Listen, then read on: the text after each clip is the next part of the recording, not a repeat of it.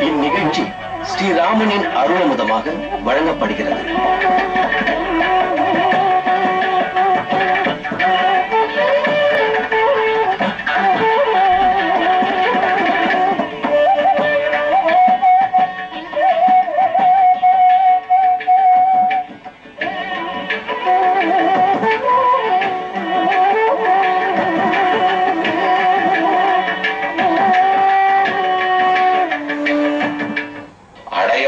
அடையப் மிக உயர்ந்த இடம்.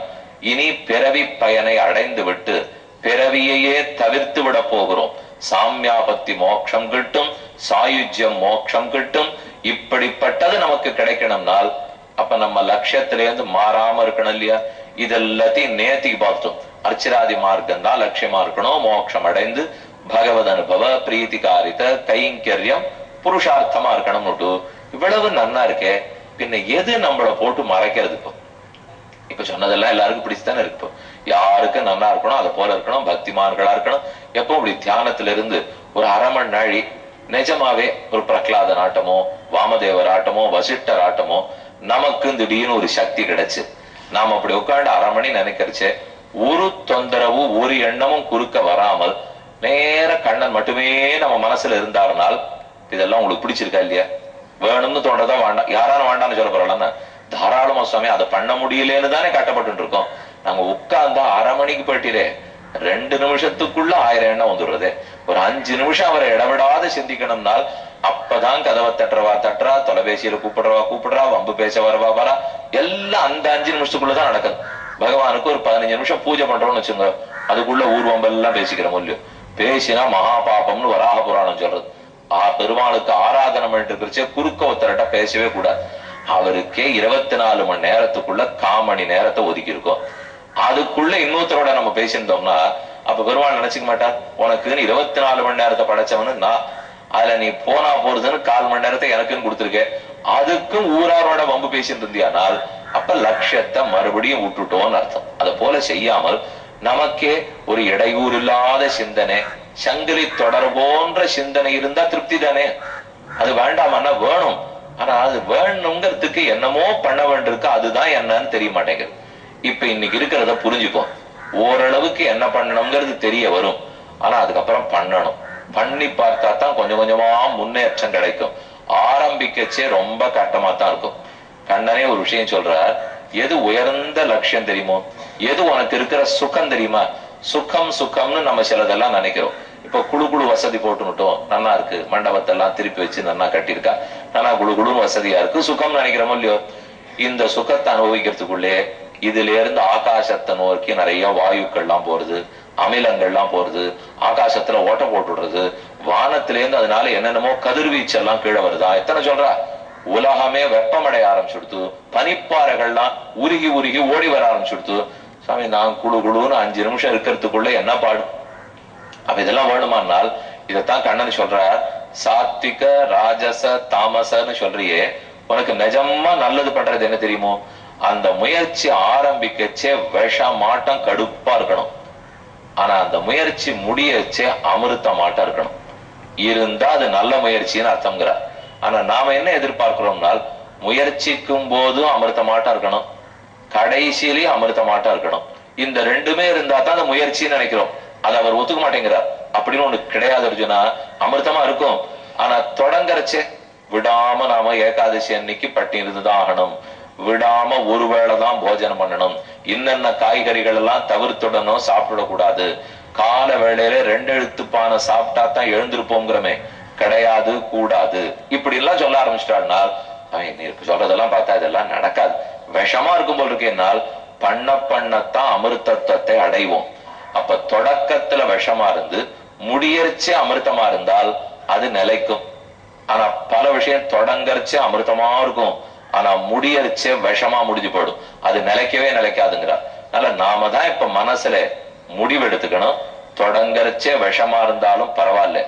அது முடியச்சே அமுதமா இருக்கும்னால் நான் தாங்கிக்க தயார். பண்ண தயார்னு வரணுமோ இல்லையோ? இந்த உறுதி இப்ப நம்ம கிட்ட வந்தாலே சத்த குணம் இருக்குன்னு அர்த்தம். கண்ணன் அதைத்தான் சொல்றார். நீ சாத்விகனா இருந்தியானால் முதல்ல சிரமப்படுறதுக்கு தயங்க மாட்டேன். நீ ராஜசனா இருந்தியானால் சிரமப்படவே மாட்டேன். இப்பவும் சுகமா இருக்கணும் எப்பவும் சுகமா இருக்கணும்னு. நீ தாமசனா இருந்தியானா எது சுகம்னே புரியாம அரியாத்தனத்துல உழண்டுட்டே இருப்ப இதுதான் சாத்விகர்களுக்கும் ராஜசர்களுக்கும் தாமசர்களுக்கும் வித்தியாசம். இந்த முக்குணத்துக்கும் கடந்த ரெண்டு நாள் தலைப்புக்கும் சம்பந்தம் பார்ப்போம். நாம எதனாலே லட்சியத்தை மறந்து மனம் போனபடிக்கு போறோம் தெரியுமோ? ஏனெனில் நம்மை நாம் இன்னார் என்று தெளிவாக புரிந்து கொள்ளவில்லை. நம்மளை யாரோ நினைச்சுட்டு இருக்கோம் ஆனா நாம அவா இல்லை. அண்ணசாமி என்னை பத்தி எனக்கு தெரியாதா? எவ்வளவு எவ்வளவுலாம் நாங்க எழுதி பள்ளிக்கூட நாள்ல இருந்து சான்றிதழ்கள் வாங்கி வச்சிருக்கோம்.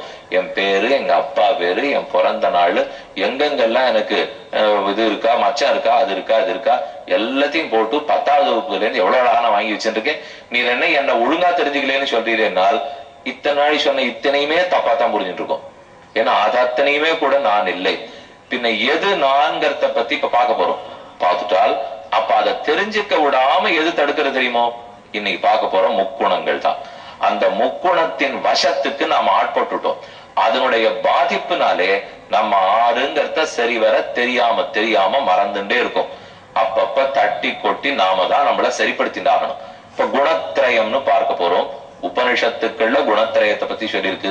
பகவத்கீதையில குணத்திரயத்தை பத்தி பறக்க பெருமாள். இரண்டாவது அத்தியாயம் சொன்னார் மூணாவது அத்தியாயத்துல சாதித்தார் பதிமூணாவது அத்தியாயத்துல சொல்றார் பதினாலாவது அத்தியாயம் முழுக்க சொல்றார் மறுபடியும் பதினேழாவது அத்தியாயம் முழுக்க சொல்றார் பதினெட்டாவது அத்தியாயத்துல ஒரு பாதி சொல்றார்.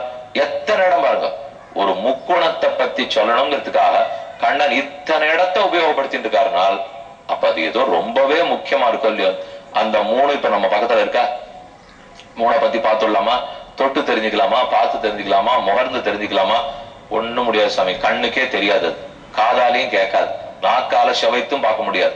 ஆனா நம்ம முழுக்க அந்த மூணு தான் நம்ம உடம்பு முழுக்க அந்த முக்குணம் முக்குணம் தான் இருக்கு. ஆனா அதை தொட்டு பார்த்து தெரிஞ்சுக்க முடியாது கண்டுபிடிக்கவே முடியாது. பின்ன எப்படி தெரிஞ்சுக்கலாம்னால் சமிஞைகள் இருக்கு. நமக்கு ஒரு உடம்புக்கு வந்ததுன்னு வச்சுக்கோ அந்த உடம்புனால நம்ம நம்ம சரீரத்துல சில மாறுதல்கள் இருந்தா கண்டுபிடிச்சிடுறோம் பாருங்க. ஓஹோ இதனால உள்ள இந்த உடம்பு இருக்கும் போல் இருக்கு. ஜுரமே ஒரு அடையாளம் தானே. ஜுவரம்ங்கிறது ஒரு வியாதி இல்ல. உள்ள ஏதோ ஒரு வியாதி இருக்கு. அந்த வியாதிக்கு வெளியில அடையாளம் காட்டுறதுக்காக ஜுரம் அப்ப ஜுரத்தை பார்த்துட்டு கண்டுபிடிச்சுக்கணும். உள்ள வேற ஏதோ வியாதி இருக்கு. நோய் நாடி நோய் முதல் நாடி அது தணிக்கும் வாய் நாடி வாய்ப்ப செயல்னு தமிழர்கள் பேசியிருக்காளோ இல்லையோ? நோயை தெரிஞ்சுக்கணும். நோய் முதல் நாடி. அதுக்கப்புறம் அந்த நோய் உள்ளூர எதுக்கு ஊடுருவி போயிருக்குன்னு தெரிஞ்சுக்கணுமே. அத போலத்தான் ஏன் நம்மள நாம் ஆறுன்னு தெரிஞ்சுக்கல? எது நம்மள குழப்பி விடுறது நாம் யார்? ஆனா நம்மள யாரும் புரிஞ்சுட்டு இருக்கோம். இந்த ரெண்டு கேள்வி ஞாபகம் வச்சுங்க உண்மையில நாம யார்? ஆனா நான் இப்ப நம்ம யாருன்னு தப்பா புரிஞ்சுட்டு இருக்கேன். ஏன் தப்பா புரிஞ்சுட்டு இருக்கேன்? மாத்திட்டு நான் யாருன்னு சரியா தெரிஞ்சு விடலாமா? தெரிஞ்சு விடுறதுதான் இன்னைக்கு நாம பார்க்க வேண்டியது.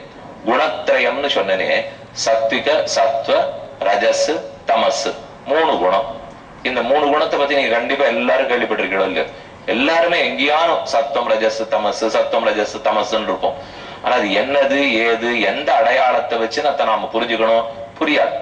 திரயத்துக்கே எப்பவுமே வேதத்துல ஒரு தனி சிறப்பு. மூணுனாலே வேதத்துக்கும் இதிகாச புராணங்களுக்கு ரொம்ப பிடிக்கும்.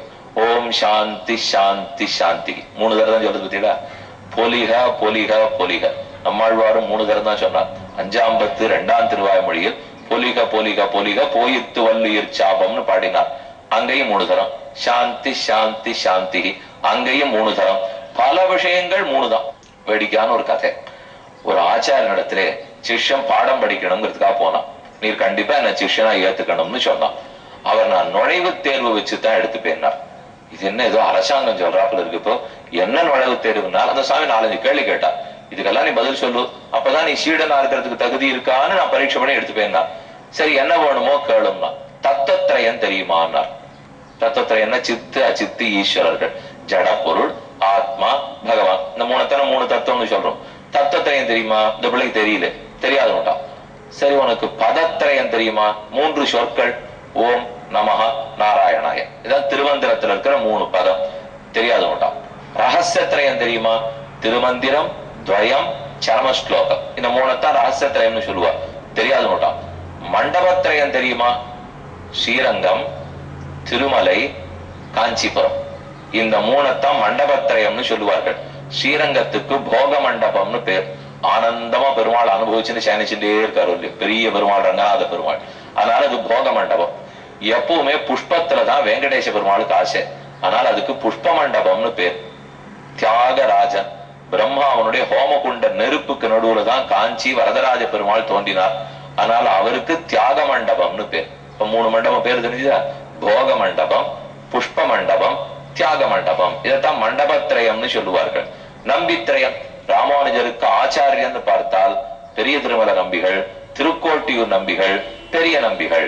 இந்த மூணு பேரை நம்பித்திரயம்னு சொல்லலாம். முனித்திரயம்னு கேள்விப்பட்டிருக்கீங்களா? நாதமுனி யாமுன முனி ராமானுஷ முனி இந்த மூணு பேரை பத்தி சொல்லதான் முனித்திரயம் தண்டத்திரயம் ராமானுஜர் கையில முக்கோல் திருதண்டம் பிடிச்சிருக்காரு இல்லையோ? அந்த மூன்று தண்டங்கள் தான் தண்டத்திரயம் தேவி திரயம் தெரியுமா பிள்ளாய் ஸ்ரீதேவி பூதேவி நீலாதேவி தெரியாது மாட்டான் இவர் என்னென்னமோ திரயமா கேட்டிருந்தார். அது எதுவும் தெரியாது தெரியாது தெரியாது. நான் கோவம் வந்துருது ஆச்சாரியன். உன்னை நான் சீடனா ஏத்துக்கிறதா இல்லையா? நீ போயிட்டு வானுட்டார் அந்த பிள்ளைக்கு எப்படியும் கிடைக்க போறது இல்லைன்னு தெரிஞ்சு போச்சு. நான் நறுக்குன்னு ஒரு கேள்வியான கேட்டுட்டு போவோம்.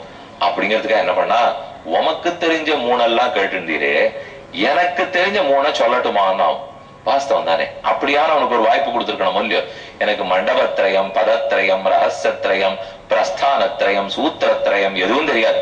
ஆனா எனக்கு ஒரே ஒரு திரையம் சொல்லி சுவாமி தாபத்திரயம்னா தாபத்திரயம்னா ஆத்தியாத்மிக ஆதி தெய்வீக ஆதி பௌத்திகங்கள் மூணு தாபத்தால நித்தியம் நாம துன்பப்பட்டுட்டே இருக்கோம். நமக்கு நாமே விளைவிச்சுக்கிற துக்கம். இயற்கையா நம்ம தலையில போடுற துக்கம் பகவான் நம்ம தலையில போடுற துக்கம் இதைத்தான் தாபத்திரயம்னு சொல்லுவா. ஆத்தியாத்மிகம் ஆதி தெய்வீகம் ஆதி பௌதிகம். இந்த மூணு தான் எனக்கு தெரியும். ஆச்சாரியம் பார்த்தா தேவையில்லையே. ஒரு மூணான்னு தெரிஞ்சு வச்சிருக்கேன் அந்த பிள்ளை பதில் சொன்னா இந்த ஒரு மூணு தான் என்கிட்ட இருக்கு. மத்த மூணெல்லாம் உம்மகிட்ட தெரிஞ்சுக்கணுங்கிறதுக்காக நான் வந்தா மத்ததெல்லாம் தெரியல தெரியலேங்கிறதுக்காக என்ன அனுப்ப பாக்குறீங்க நியாயமானா சரி சரி சேர்ந்துக்கோ. அப்படின்னு சேர்த்து அவன் நல்ல வித்வான் ஆயிட்டான்னு ஒரு சரித்திரம். எதுக்கு சொல்ல வந்தேன் மூன்று பல. அதுல இப்ப நாம பார்க்க போற மூன்று இந்த கதையோட தொடர்புடையது. இத்தனை மூணு அவனுக்கு தெரியல. ஒரே ஒரு மூணு தான் தெரிஞ்சது. ஏன் தெரியுமோ? இப்ப நாம பார்க்க போற மூணாலதான். சத்தம் ரஜஸ் தமசுன்னு முக்குணம் இருக்கும் இல்லையோ? இந்த முக்குணத்துல ரஜோகுண தமோகுணம் வளர்ந்திருக்கவே நல்ல விஷயம் மூணு எதுவும் அவனுக்கு தெரியல. சத்தகுணம் குறைச்சலா இருக்கவே தீயதா தனியும் தெரிஞ்சு வச்சிருந்தான். தாபத்திரயம் தான் அவனுக்கு தெரிஞ்சது. நல்லதெல்லாம் தெரியலையேனால் மூணு குணங்களுக்குள்ள எந்த குணம் இருக்கணுமோ அது இல்லையே. மற்ற ரெண்டு குணங்களும் தான் அதிகமா இருந்தது. ஒரு அறிவிப்பு. பிப்ரவரி மாதம் இருபத்தாறு இருபத்தேழு இருபத்தெட்டு ஆகிய தேதிகளில் திருக்கண்ணபுரத்தில் மாசி மக உற்சவத்தை முன்னிட்டு அடியனுடைய உபன்யாசம். சபரி பெருமாள் சன்னதியில் மாலை நாலு மணிக்கு உபன்யாசம். பக்தர்கள் உற்சவத்திலும் கலந்து கொண்டு உபன்யாசத்தை சிறப்பிக்க வேண்டுகிறேன். இந்நிகழ்ச்சி ஸ்ரீராமனின் அருளமுதமாக வழங்கப்பட்டது.